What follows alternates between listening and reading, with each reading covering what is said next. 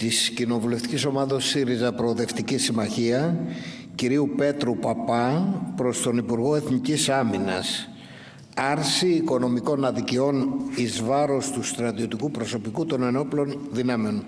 Ορίστε κύριε Παπά, έχετε το λόγο για την πρωτολογία σας για δύο λεπτά. Ευχαριστώ κύριε Πρόεδρε. Κύριε Υπουργέ, γνωρίζουμε ότι η αποστολή της, των ενόπλων δυνάμεων της χώρας είναι η διατήρηση της εθνικής ε, ακαιρεότητας, εδαφικής ακαιρεότητας της πατρίδας μας και η προάσπιση από κάθε απειλή που μπορεί να απειλήσει την ε, χώρα μας. Γνωρίζουμε ότι η αποστολή της πολιτείας είναι να διασφαλιστούν όλες εκείνες οι συνθήκες και να, ε, και να κάνει τις πολιτικές εκείνες που να μπορέσει ο στρατός να ανταποκριθεί και οι ένοπλες δυνάμεις να ανταποκριθούν στην αποστολή τους.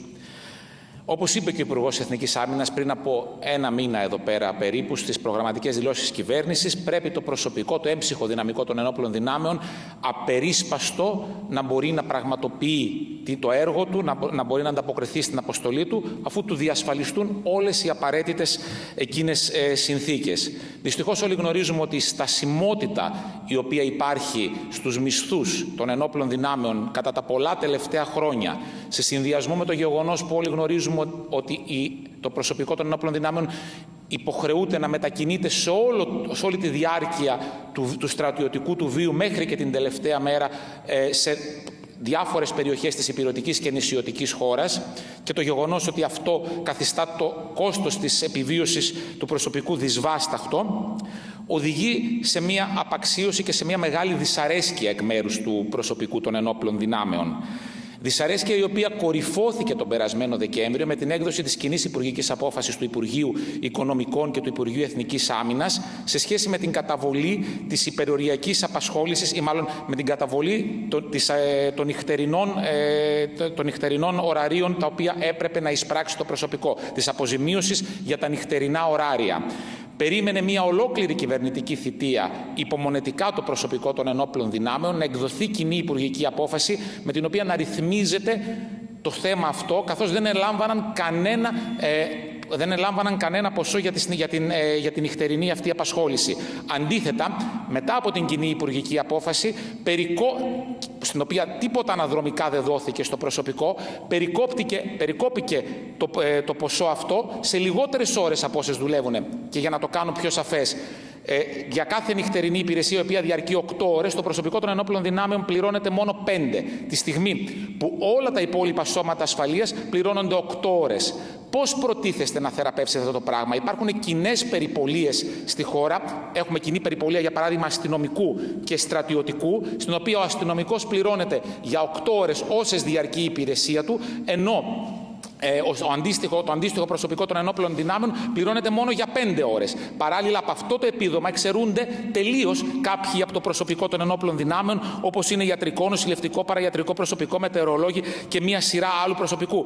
Πώς σκοπεύετε να θεραπεύσετε αυτό; Το δεύτερο ερώτημά μου αφορά το μισθολόγιο, το ειδικό μισθολόγιο των ενόπλων δυνάμεων και τι προβλέψεις ειδικές σκοπεύετε να κάνετε για αυτό και για την υπεροριακή απασχόληση σκοπεύει η κυβέρνηση στο νέο μισθολόγιο, στο νέο ειδικό μισθολόγιο για τις ένοπλες δυνάμεις να προβλέψει επίδομα υπεροριακής πέρα των πέντε ημερών που δουλεύει το προσωπικό των ενόπλων δυνάμεων, επίδομα υπεροριακής απασχόλησης, επίδομα το οποίο λαμβάνουν ε, οι υπόλοιποι, τα υπόλοιπα σώματα ασφαλείας. Θα επανέλθω ε, στη δευτερολογία μου γιατί είναι απαραίτητο αυτό για το προσωπικό των ενόπλων δυνάμεων. Σας ευχαριστώ.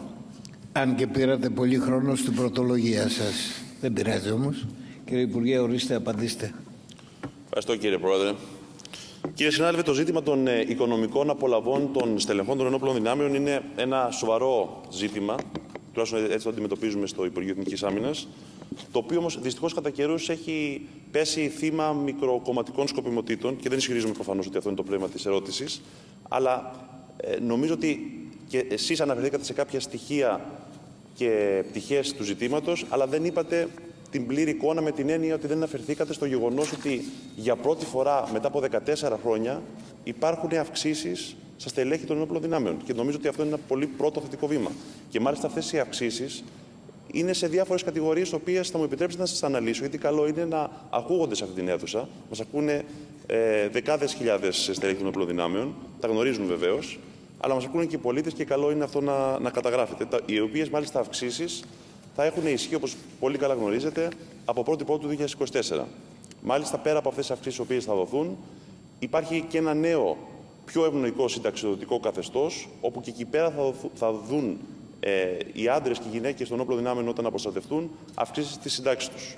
Τώρα, όσον αφορά τα στελέχη των ενόπλων δυνάμεων, από το νέο έτος, όπως είπα και προηγουμένως, είναι πέντε κατηγορίες αυξήσεων τις οποίες θα δουν τις απολαυές τους. Συγκεκριμένα, θα δουν την οριζόντια αύξηση των 70 ευρώ ασχέτως μισθολογικού κλιμακίου, προπηρεσία και θέση.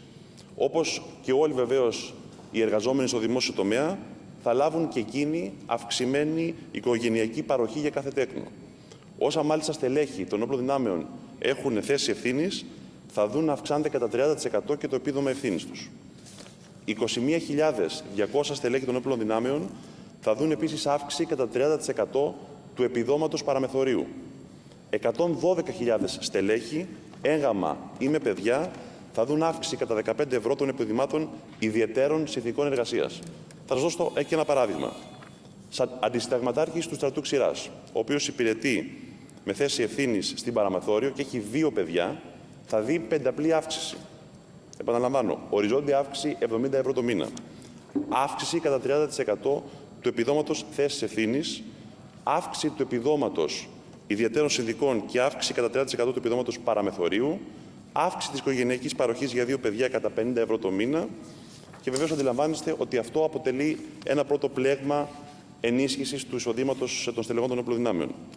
Να προσθέσω βέβαια και σε αυτό ότι θα πρέπει να συνυπολογιστεί η αύξηση του φορολογητού κατά 1.000 ευρώ για κάθε παιδί το οποίο επιφέρει ένα επιπλέον όφελος 220 ευρώ το χρόνο και νομίζω ότι θα συμφωνήσετε ότι αυτές οι αυξήσεις για πρώτη φορά, επαναλαμβάνω, μετά από 14 χρόνια, μετά από την οικονομική κρίση την οποία βίωσε η χώρα μας, αποτελεί ένα απτό δείγμα γραφής, τουλάχιστον της παρούσας κυβέρνησης, ότι πραγματικά αντιλαμβανόμαστε τις απολαυές των ενόπλων δυνάμεων ως κάτι ιδιαίτερα σοβαρό ζήτημα. Θα ρωτήσετε, λύνει αυτό όλα τα προβλήματα; Θα σας απαντήσω βεβαίως και όχι. Αλλά δεν μπορούμε να μηδενίζουμε τις προσπάθειες που έχουν γίνει μέχρι τώρα.